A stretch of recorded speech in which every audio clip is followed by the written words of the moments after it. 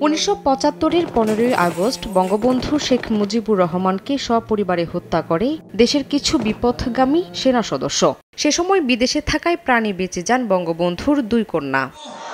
নানা প্রতিকূলতা পেরিয়ে দেশকে পুনর্গঠন ও জনগণের কথা চিন্তা করে সামরিক শাসকের রক্তচক্ষু নিষেধাজ্ঞা উপেক্ষা করে অবশেষে উনিশশো একাশি সালের সতেরোই মে দেশে প্রত্যাবর্তন করেন বঙ্গবন্ধু কন্যা শেখ হাসিনা।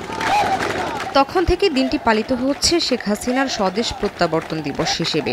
শুক্রবার প্রধানমন্ত্রী চুয়াল্লিশতম স্বদেশ প্রত্যাবর্তন দিবসে দেশের বিভিন্ন স্থানে নানা কর্মসূচি পালন করে আওয়ামী লীগ ও এর সহযোগী সংগঠনগুলো। জেলা, উপজেলায় দলীয় কার্যালয়ে জাতীয় ও দলীয় পতাকা উত্তোলন করা হয়। বঙ্গবন্ধুর প্রতিকৃতিতে ফুল দিয়ে শ্রদ্ধা নিবেদন করেন নেতাকর্মীরা। বের করা হয় র্যালি। এছাড়া আলোচনা সভারও আয়োজন করা হয়।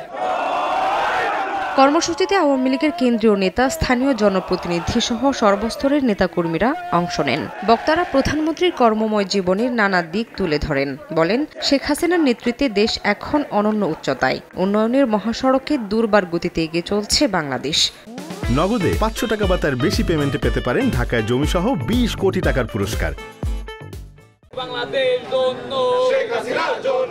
সব ষড়যন্ত্র প্রতিহত করে বাংলাদেশের অগ্রযাত্রা অব্যাহত রাখতে আওয়ামী লীগকে বারবার ক্ষমতায় আনতে সবাইকে ঐক্যবদ্ধ থাকার আহ্বান জানান দলটির নেতাকর্মীরা।